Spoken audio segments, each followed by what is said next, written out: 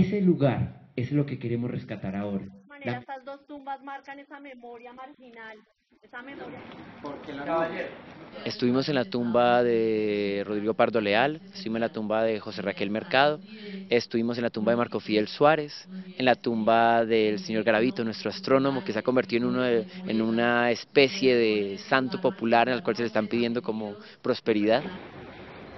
En su honor, 200 años. Pero uno vengo al cementerio.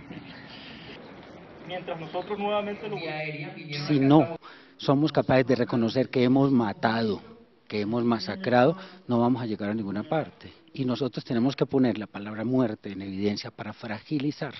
Estamos en medio de unas negociaciones de machos. Nos hemos llenado de machos. Los militares, los guerrilleros, los paramilitares, los BACRIM, todos son una cantidad de gente dura, tiesa, que no ha entendido el respeto que, requiere el cuerpo humano, que requieren las personas. también es muy significativa en los cementerios. Vean la ubicación donde está él. Vamos a seguir. hasta, hasta su casa, hasta el, hasta el lugar donde se... Todavía está...